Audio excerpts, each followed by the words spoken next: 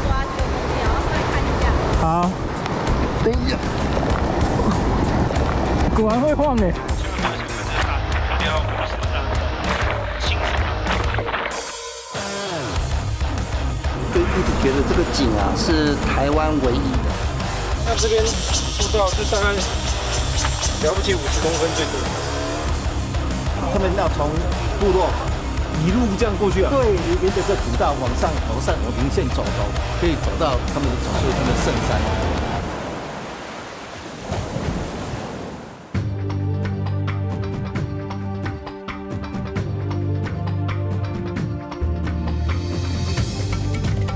最近爆红的秘境屋檐角，也许有些人对这个名字有点陌生，但它的另一个称号中央山脉起点，应该就有不少人听过了吧？而说到中央山脉，是台湾五大山脉之一，北方起点就是在南方澳与东澳之间的屋檐角，而南端则是在屏东的鹅銮鼻，有台湾屋脊之称。想要征服这座护国神山的起点，可不是嘴巴说说就行。明天的征途当然得靠小刚我在登山界的美女好友帮忙。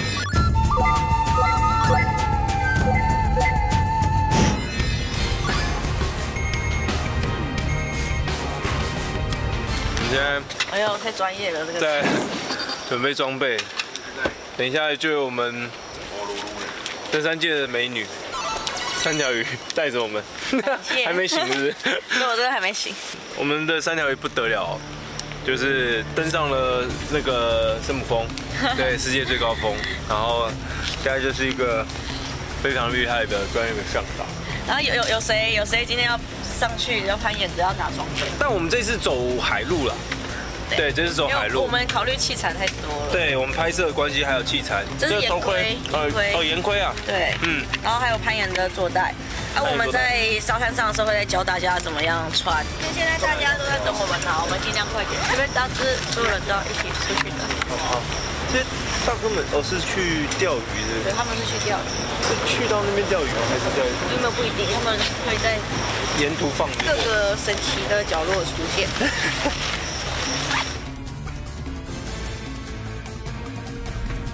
没错，说到咱们三条鱼的来头可不小啊！它不但是台湾首位登上世界第四、第五、第八高峰的女性，更是全台唯二登上世界最高珠穆朗玛峰的女性。虽然说杀鸡焉用牛刀，但有她在，相信大家也比较安心。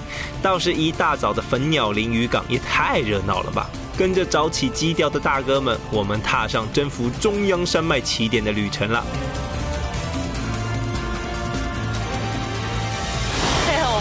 我们一起的，跟我们一起带大家攀登啦这一次。我叫猴子，猴子，他会帮我们架设安全的绳索，因为毕竟屋檐角上面的绳索都已经放很久，就是风吹日晒雨淋，真的你不知道它什么时候断。然后第二个是屋檐角本身它的岩石这些的岩石就很破碎，其实你在爬的时候就会注意到它有些，啊你现在看起来很稳固，对然后可是你可能抓一下，一它它会掉下来。那有些石头，就我们去很多次嘛，所以我们会知道说，哦，原本这个石头看起来很稳固，绑了很多绳子，就后来整块石头不见了，掉下去了。对啊，所以我们基本上每次去，我们都会自己带绳子。搭乘接驳船只，在夜色中慢慢航向屋檐角。长城中，看着钓鱼的大哥们一个个跳上属于自己的小小礁石。老实说，我们都觉得在这种地方钓鱼，怎么好像比攀登屋檐角还来的危险？但或许每个人有着不同的追求，看法自然也就不一样。总之，挑战自我从来不是为了要证明什么，冲着那份协议中的冒险精神罢了。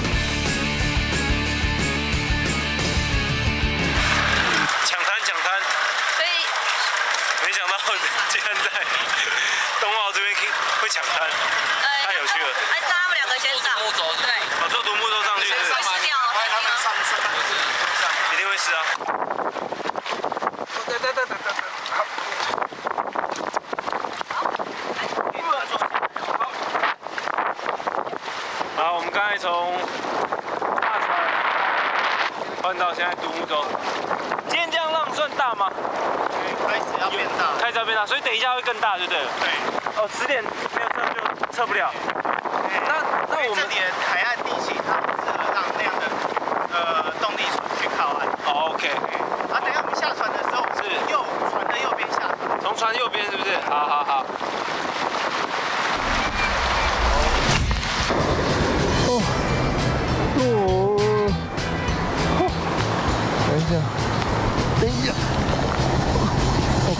果然会晃哎。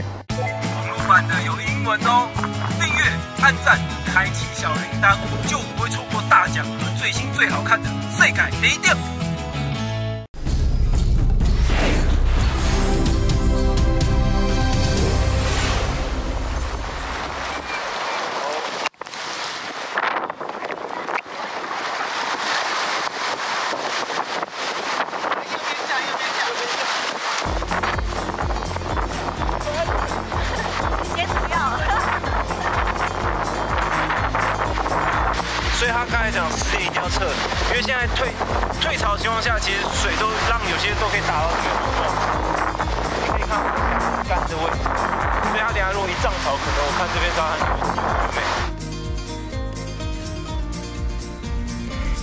刺激啦！没想到还没开始攀登，底下的风浪就先来个震撼教育，海浪大到无法让接驳船只靠近。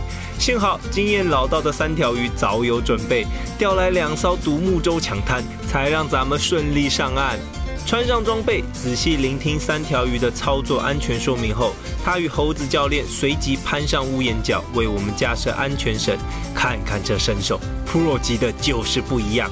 不过，他们也再次强调，若不是有多次攀登的经验，千万不要轻易进行没有安全确保的攀岩活动。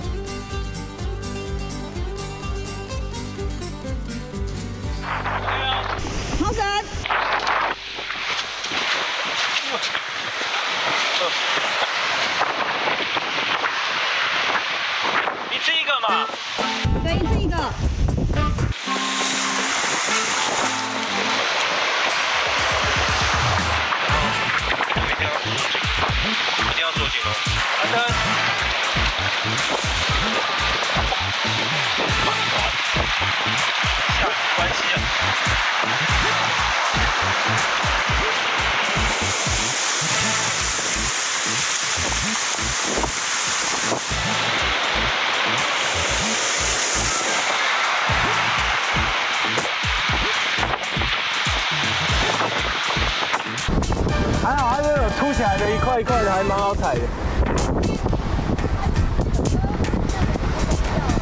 什么东西？比较小心，有时候这个岩石有点跑抓就不然后再看一下。好。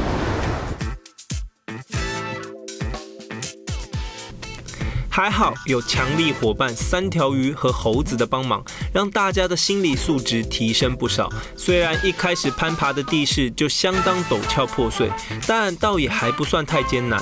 直到中间遭遇较大的裂缝，挑战才真正开始。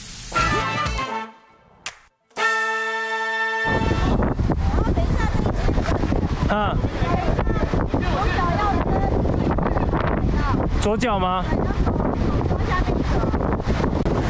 他们的绳子尽量不要抓，对不对？他们的绳子尽量不要抓。好，脚直接往左边，这边对，然后身体横向拉一下，踩踩到你的右脚。等一下，我先看一下我脚的。哦，哦，哦，等一下，等一下。果然会晃哎、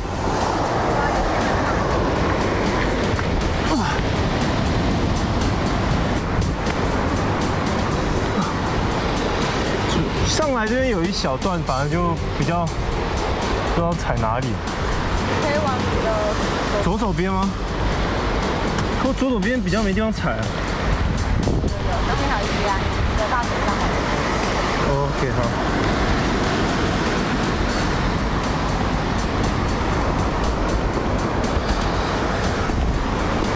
假的？你确定这个平常没在没没在没在过运动的不上班族？因为其实这个诊所也不是不能抓，啊，因为我们都有确保，所以也不用怕绳索断掉或者什么。哦，来来，从这边上来嘛。从这边是不是？脚没地方踩啊。有啊，你踩那个就。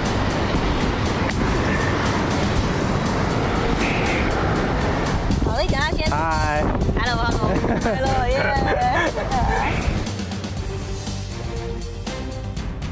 果然，第一个起始点的峭壁，前段只是让你热热身，后段才是真正挑战之处。除了得小心翼翼测试着力点的稳固性之外，海面上波涛汹涌的海浪和耳边不断呼啸的强风，更不断提醒自己要小心再小心。纵使有安全确保，想征服中央山脉的起点，就只能靠自己一步一步往上爬。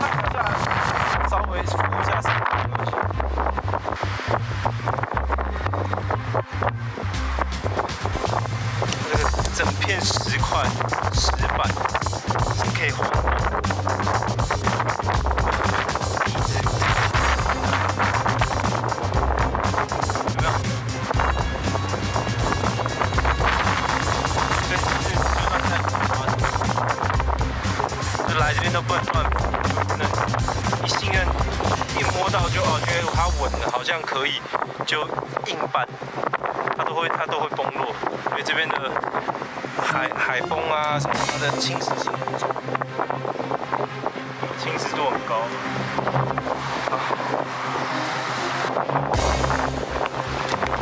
等我下去再下来，它就是那个石头会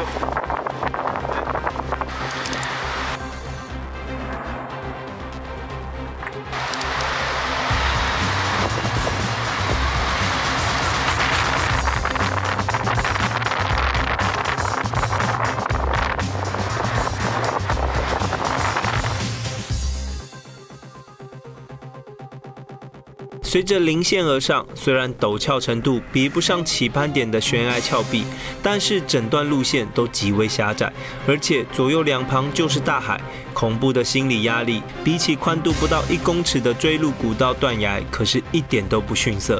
但能从高处欣赏美丽的海岸线，让人顿时心胸开阔。虽然攀上屋檐角的部分路段有架绳索，但因为严厉会磨绳，再加上海边气候对绳子容易造成损害，更不知道绳子确切的架设时间，所以还是要以自己现场架设的安全绳为主。毕竟户外活动不怕一万，只怕万一。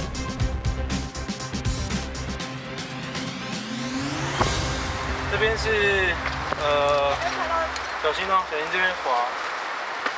你不要看这旁边好像很多路，我跟你讲，这个就下去，还被草丛遮住看不到。我到时候如果是这砍掉这个，你觉有没有看到这蓝蓝的中间这边下去就海？所以这边其实很像，就是像前面这样子山山坡，只是我们现在旁边有草，所以可以比较宽，可以小心走，不要滑倒。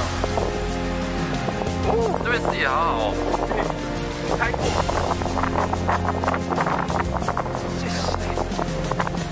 这边算是最接终点了你知道吗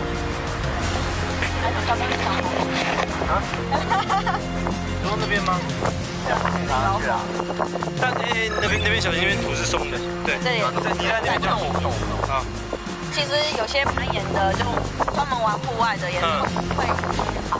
但这边就真的真的建议新手去，一定要是你整个队伍就是互相彼此都是有经验的，你才可以就是互相帮忙确保，这样这样子会比较好。对，千万不要出来就是凭着股肾上腺素你就去，哦，千万不要这样，千万不要这样，就是出来就是开开心心的出门，平平安安的回家最重要。但很开心啊，今天就是终于第一次我们。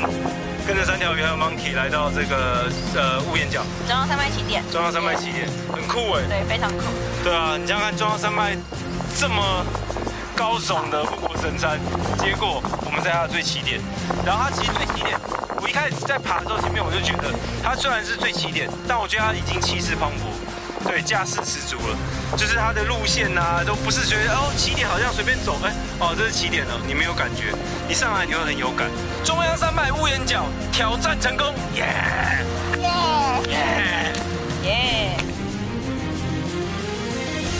虽然屋檐角只有海拔七十几公尺的高度，比不上动辄上千公尺的名山百岳，不过亲自走这一遭，双手双脚感受过它特殊的地质形态，以及拔地而起、耸立在太平洋上的磅礴气势，我不得不说，屋檐角绝对不负它中央山脉起点的威名。就一直觉得这个景啊是台湾唯一的。你看这边步道是大概。了不起，五十公分最多。网络版的有英文哦，订阅、按赞、开启小铃铛，就不会错过大奖和最新最好看的世界第一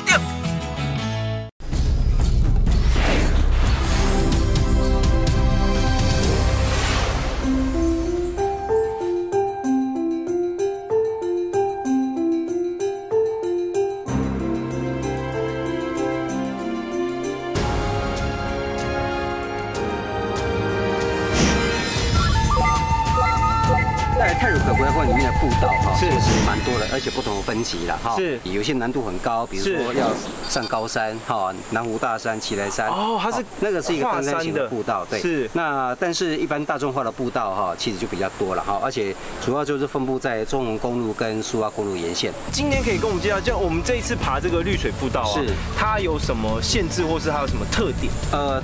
呃，它是属于最容易到达的步道啦，最容易到达，对，景观型的步道，所以你不用申请，是，那只要人到了，好就可以去走这个步道，哦，不用申请，而且它这个地方是呃非常具有历史价值，还有一些生态特色的一个地方。它可以看到一些不同的景观。那除了这个之外，哈，其实还有更重要的啦。是，其实这是一条古道。嗯，哦哦，它也是古道。对，好，那这条古道已经超过一百年了。合欢岳岭道早在三百年前是泰鲁格族人翻越中央山脉，定居利物西沿岸时的设路。日据时期从花莲到台中畅通之后，才改称为合欢岳岭道。而绿水步道、追鹿古道都是其中的一段。那如果把这个小叶哈拔掉之后，它看起来会像一只像一个鹅的脚掌。哦，你说留下这个枝干的时候，哦，我现在把它这个，是因为它是地上捡到下来的，捡到的了哈，所以我们不是从树上拔的。是。好，像不像鹅的脚掌？鹅的那个手的骨头的那个骨架，像鹅的脚掌，所以它叫做它就叫做鹅掌柴。鹅掌柴。对，鹅掌柴。可是它另外有一个别名，是那个别名是什么哈？它叫姜某。又叫江某，江江某某哪个？呃，长江的江某人的某。哦，为什么？好，为什么叫江某？呃，不是江某人发现的。哦，不是江某人。对对对对，不是江某人发现的。哈，呃，因为江某要用台语来解释。好，江某的台语叫港木。对，港木。好，港木。好，那为什么叫港木？因为这种树以前被拿来做木屐。哦。那木屐因为它不分左脚右脚。对。所以就台语的讲法来讲，就是无港无木。不分左脚右脚哦，不刚不不，所以呃，最后就取它的谐音，好木屐就叫港木。好，那拿来做木屐的这个树也叫港波球，所以它是跟台湾人生活非常密切的一种植物。没想到一转眼就可能错过的小树枝，竟然与前人的生活息息相关。而有幸与老师同行，我们也才有机会深入了解古道的历史文化。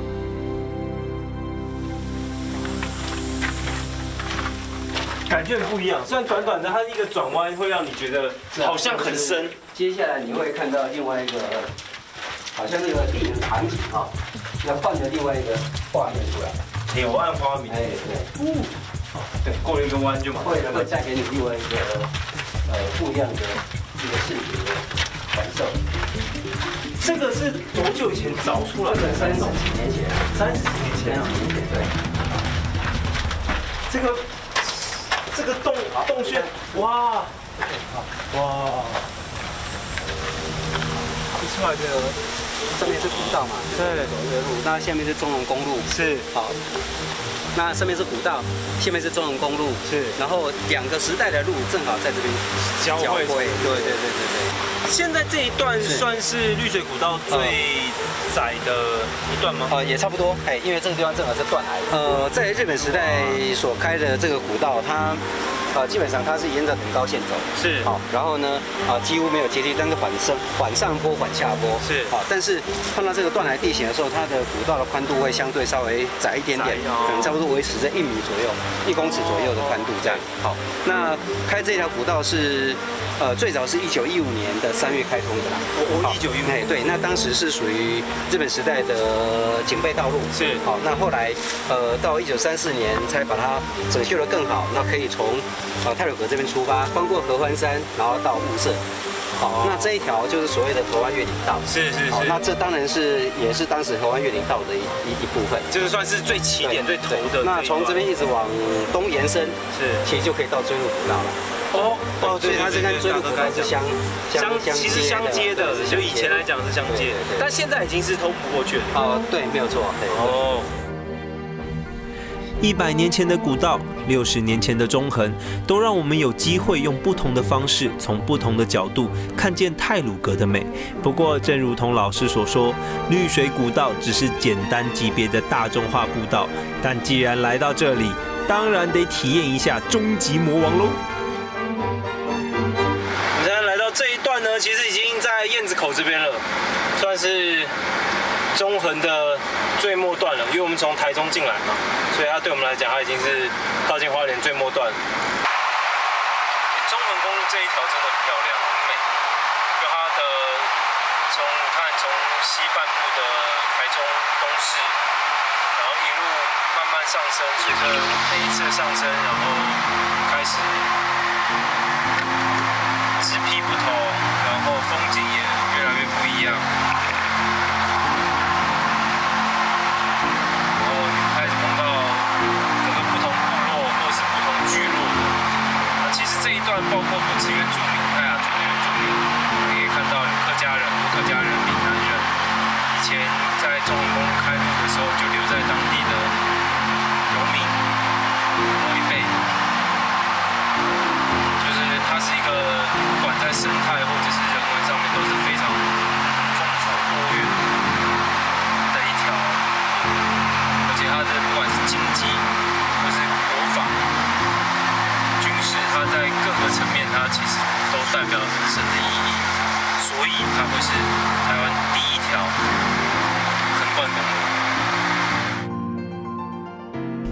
车来到燕子口，中横的险峻地势更是一览无遗。不过听老师说，坠入古道上的断崖才是让人既期待又怕受伤害。想挑战，可是得做好心理建设才行呐。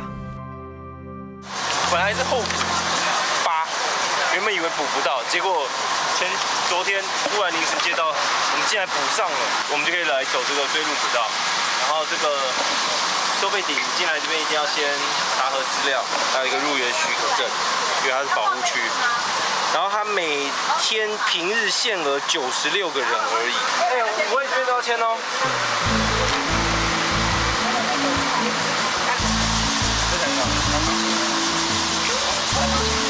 三点前要出来，好的。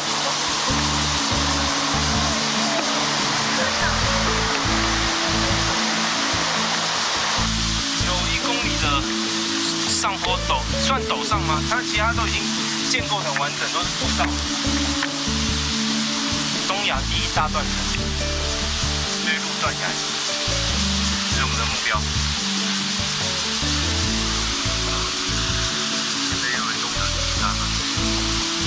行经断。崖时注意事项哦，很重要的啊。这是就最后那一段，五百公尺，不要使用手机，不要低头低头图，因为它的路步道很窄，不要嬉戏跑闹，也不要乱快跑，因为很滑，一个水池一个不好你就下去，它是用绳索拉着，靠墙边拉着，有没有？它这边是靠前山壁，然后这边下去就是断壁断崖的位置。一进入管制口，抬头向上望，就可以欣赏到即将开放的山岳吊桥横跨山谷。接下来就是长达一公里上升的陡坡，虽然步道状况不差，但是对体力上的负担是一大考验啊。到嘞，八达冈，旧的八达冈遗址，我看到。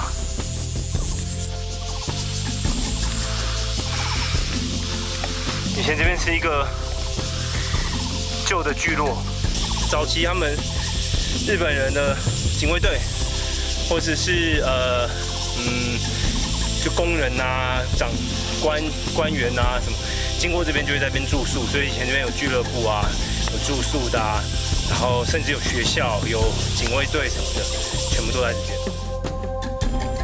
说到追鹿古道，可是近来泰鲁格国家公园最热门的步道路线。除了可以亲近大自然、了解古道的历史文化之外，相信很多人都是为了这最后的五百公尺而来，也就是告示牌上所称的东亚第一断崖——追鹿断崖。哇！追嘎！你看到那个地上其实都碎石路了。最宽差不多一米左右而已。哦，我下面可以看到车子哎。你上边嘿，所以你甲伊搭船哦，朱老师看嘛，看伊个是啥物？你这叮当啊。我们其实算很幸运，你看我们短时间就找到三只，然后其中还有一只立刻就值得被记录下来，因为它身上长了那个好像被寄生的虫，两边都有。录版的有英文哦，订阅、按赞、开启小铃铛，就不会错过大奖和最新最好看的世界第一点。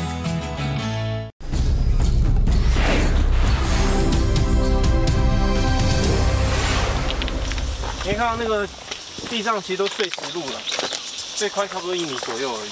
哦，我下面可以看到车子哎，中文公路。你看像这边步道就大概了不起五十公分最多。你看往上，所以说这是石头容易崩落的区域。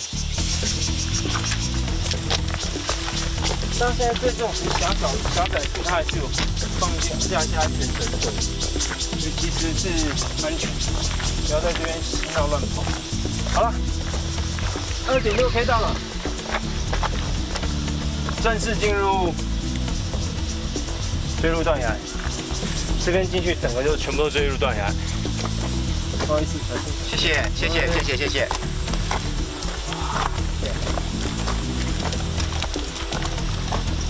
哇，非常的壮阔。约六百公尺的追路断崖，高度就像站在台北一零一顶端，但脚下却只有不到一公尺的宽度可以站立。而据说原始的追路古道更扯，只有三十公分宽，是后来日本人强征原住民壮丁，从断崖顶端绑绳索垂悬而下，在凿洞埋设炸药拓宽，才有今日的追路古道。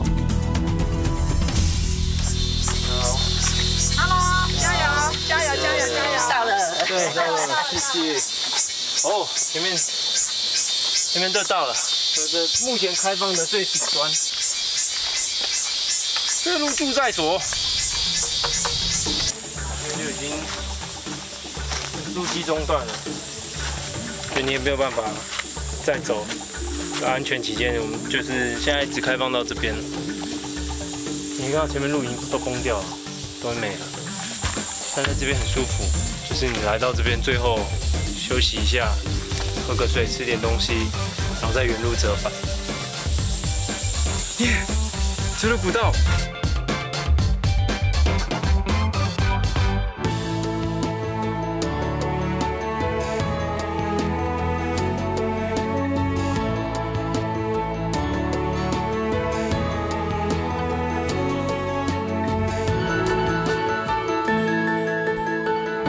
你已经看到了我们今天的要去的这个目目标了哦，特富野古道是。然后在我旁边这位是肖大哥，前面这一段呢，就是我们所说的当当时候以森林铁路运木头，是运红块啦、扁柏啦，对对对对为主，是之后。在下下一坡就是可以接到哪里呢？接到我们这边的周族。哦，到周族部落。这边有达邦特务野，哎，这边是特务野古道哈。是。当时候日本人还没到台湾的时候，对，周族他们的圣山是什么？就是前面那一说三角形那个玉山。最近那张。对对对对，最尖山是他们的圣山。是。他们要从部落。一路这样过去啊？对，沿沿着这古道往上、往上、往零线走走，可以走到他们的所说他们的圣山。还有另外这边有一些他们的猎场，是打猎的区块。这边有两个端，啊这边是自自装端，那是一个特务野端。哦，分两端对，总共有六点三二公里。啊，基本上前面三点七哈很好走，就是以之前的森林铁路，就像这样子吗？对就像这样，没有太大的上下。没有没有，对前前面的三点七 K 都很好走。哦，散步。对，啊下切后面就哇一直一直往下切了。哦。后面是，对，就就这样子的，哎，对对对，是比较对，比较陡，哦，OK，陡下陡上这样。对，那另外这里哈，可以因为我们这边海拔是，所以我们说的盛行云雾带。什么东西？盛行云雾带就是很容易起雾的。哦，盛行云雾带，云雾带。云雾带这里的动植物非常丰富，是，所以说等一下我们陆续哈，主要主要最特殊的有一种阿里山山椒鱼，哦，山椒鱼，对，我们知道，对，我们这是特有种哎，国宝，国宝，国宝级，我们台湾对对五种，五种，对，山椒鱼，这边我这边很独特的有一种叫阿里山山椒鱼。日据时期，日本人为了伐运阿里山地区蕴藏丰富的红块、扁柏，便沿着特富野古道建造铁路。也因此，古道上仍遗留着旧铁轨、栈道与块木旧桥。经嘉义领管处将古道整建成阶梯式步道后，搭配砾石和整木铺面，并保留部分旧铁道铺面整木及栈桥，成为特富野古道最大的特色。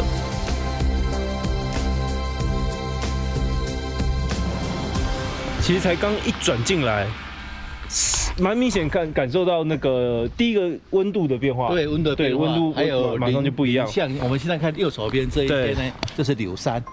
柳杉呢？之后呢？对，这是柳杉，这是日本的日本人种的。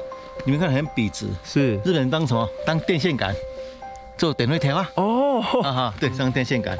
种来当点位条啊？对。他那个年那个时候，基本上台湾本来没有柳杉，是。日本人砍完红块扁柏，对，哦，这边那时候整个哇，非常的多，对，砍完之后他所种植的柳杉，哦，我是知道以前这些阿里山的这些不块木啦，阿里山的这些木头啊，大概回去都做神社。神社鸟居啦，神社啦，对对，日本的鸟居，像明治神宫啊，那些基本上大大很多都台湾运过去的。对对，台湾有三个大的林场，是阿里山、对太平山、大雪山。是阿里山是最大的、开花最早的。是，对。你看这里就是对吧？这里就是之前铁路已经移掉的哦，而且是一些历史的遗迹啊。是，对。然后剩下这边就是整木还还不拆，就让它留着。对，那整木感是是会修复的，是不是？这是后来再再修复的，再修复的，就是保留它这个线路的样子，保留它的线路的样子而已。看看看看，看那阳光又透彻进来，那个对啊。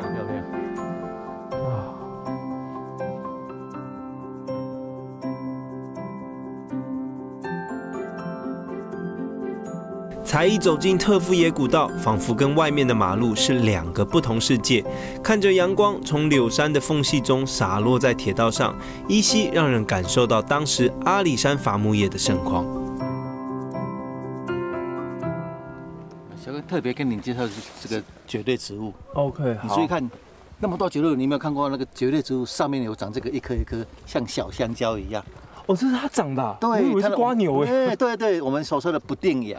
不定呀，对它这个叫西西子蕨，稀少的稀，西子蕨，西子蕨，对它在这个环境当中哈，空气好了，它才它才跟其他蕨类，这这个也是吗？这不一样，这不一样，对对对对对，长得不太一样，它很有特殊哦，它的不定芽。蛮特殊的。空气不好，它就不长了。你是说整个不长还是芽都不长？整个整株植株都就就不长了，所以空气好，这边空气很好，它才会长。对，这个雾林带的那个因子指标之一，就是天气那个空气不好，它就不长了。哦，所以它生长的纬纬度差不多就在雾林带这一对，就在雾林带这个区块，哦，快木林底下的雾林带。听肖大哥说，西子蕨除了是空气品质的指标性物种，它的不定芽也可以食用。不但是许多野生动物的美食，也有记录记载，原住民会食用西子蕨的不定芽。据说烤熟后的味道就像带有草味的花生。在前面，在前面。哎，大哥有吗？有看到？哦，嗯，这个真的是你不知道，你就走过去了。对呀，不知道就走过去了。你真的看，就无缘看到这个国宝鱼了。大哥在哪里？在哪里？哦，我记得。哇，比较黑就比较潮湿。好黑哦，看得出来吗？这一条。对，这个藻都是你都是找翻石头，对不对？旁边是大石头。基本上我们会先去看整个基地的环境，是。啊，比如说以这个基地它的湿度，对，会比较偏高，是，所以基地上就会比较 OK 一点。哦，你说旁边周围突然看起来湿度就比较高，对对对？对对。它大概就是在中部以南，一直到北大武，哦，都都有，算是台湾五种山椒鱼。那个分布范围最广的一种，然后它是最南线，全世界山椒鱼分布的最南线哦，最南线就在台湾这边了，所以最南端就是在北大北大我们那边了。对对对，哦，很漂亮。它现在可能因为翻开还有点吓到它。基本上你就是它如果不动，就是代表我们没有干扰它。哦，哎，啊，如果它有在窜动，是，就是代表它觉得外外界有。有危险，有有很有危险，所以他他就目前这样子的状况，就是他没有逃离的一个行为。哦，嘿嘿，那我们这样子就可以做很好的一个静态观察。是是是，你们运气算不错了，不用等太久。我叫你讲，要要要要几个人顶下嘞？是我们运气好。大哥厉害。这这段这一段已经去年一一整年都没有都没看到。对。听大哥说，台湾特有种的阿里山山椒鱼，又名阿里山小泥，属于二级保育类动物，分布在海拔两千到两千三公尺以上的高山，体型最长只有十公分，颜色为黑褐色或褐色，前脚有四指，后脚有五指，是辨识它的最主要特征，也是目前台湾五种山椒鱼中最容易被发现的种类。哦，找到了。记得这么远，可以吗？哇，很好运呢。我们如果算刚才没有看到的话，这是算第三只了。喂，大哥你强哎，强哦！你们运气很好。哎，赞。听说比较大只是不是？没有了，一样是大只，一样大只的。哦，那个都算大只了。对对，那算大只的。那如果说一年生的，说像一块钱这样子而已。哦，以后一年生的这样子这么小。两年生的。这条步道的环境破坏很严重，因为很多人把。那个大排椅都哦，所以对这个是是环境，这个真的要注意了。好，我们先看里面的我们的国宝胶，可以了吗？可以。有看到啊？有，好大只哦，比刚才那个还清楚。对。对，然后你可以看它的那个那个脚。有没有有有对是前四后五对前四后，对你可以拍它的特写，它的前四后五，那你就可以拍拍它的那个哎热肩沟。我不知道为什么这种这种这个三角鱼啊，这样现在这样看哦，把它放大，很像娃娃鱼。它对，你你要跟一般的大众介绍，对，你就跟他讲壁虎。因为壁虎大家都常看到，它的形状跟壁虎的相似度很高，只是皮肤把它换过去而已。是是是。身为技术室的魏大哥，平时对于古道乃至阿里山地区的物种都要详加记录，并与大学教授合作进行研究与保护。也因此，我们才有机会亲眼目睹教课的真面目。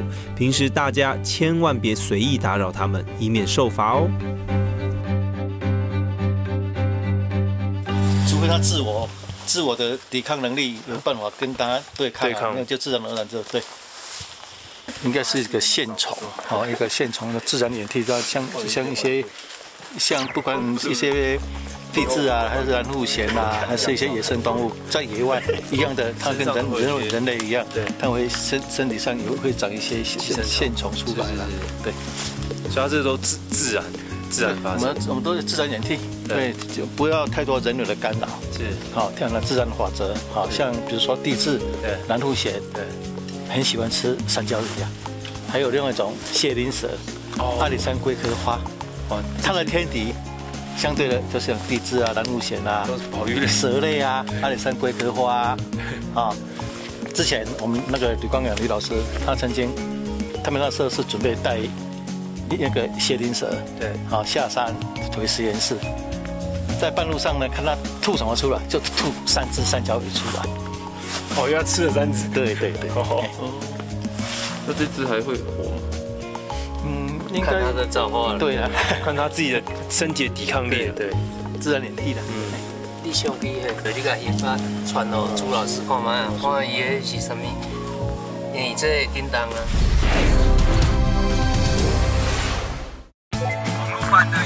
哦，订阅、按赞、开启小铃铛，就不会错过大奖和最新最好看的世界第一点。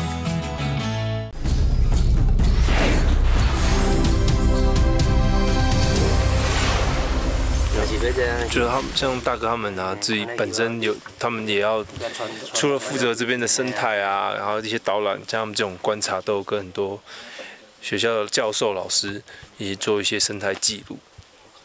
哦我们其实算很幸运，你看我们短时间就找到三只，然后其中还有一只立刻就值得被记录下来，因为它身上长了那个好像被寄生了虫，两边都有。一开始还想说，嗯，那一条没，上一条没有看到，这个有，还以为是什么脏东西，结果后来真的被寄生，所以现在要记录下来。没想到第一次跟魏大哥出任务，就遇上特殊状况需要记录，更让我们了解生态保护的背后有这么多无名英雄的默默付出，才让我们有机会看到如此珍贵又稀有的教课。我们现在又看到台湾的另外的国宝，对，是国宝，是后面这两颗，这两颗，哦，最近的是是我们左手边这一颗，对，这一颗，然后再来就是那一颗大的，是。对，然后这个是大哥说这个是呃台湾快木，对，红块，这是红块，红块，基本上我们刚才沿途过来，刚才做电线杆的那是柳杉，对对对对，这个是块木，块木这个物种呢，在全球是。块木属的，就台湾、日本、美国。哦，其中就叫有六种，哦，这三个这三个地方有六种。六种，啊，我们台湾就有两种，就是红块跟扁膜，啊，这颗是红块，台湾才有，就台湾特有的物种，它是只有在阿里山，还是是其实整个台湾高山？其实整个台湾高山的，我们台湾有两种，对，好，一个扁薄，一个红块，对，以台湾定文来讲，以宜兰对北部都是扁柏为主。阿里山这个区块刚算是中部，是一比一，然后再南就是红块为主。对，啊，再南就是红块为主，很珍贵，蛮珍贵的。这个很珍贵，对，那怎么我们刚才讲的，它喜欢在这个云雾带里面。是是是是是。对啊，其其实我们这一条铁路当时日本的，其实哈，等一下我们陆续可以看到，对，很大的老树头，包含包含阿里山山区啊，闽南线你看到老树头，以前砍掉，以前砍掉的。好，他当时日本人就是要取得这个红块跟扁柏，是才建构这个阿里山森林铁路一条这一条。我知道，因为支线。很幸运有机会在两位大哥的同行下，亲自走一趟特富野古道，才真正了解他“天神的足迹”这个称号所代表的意义。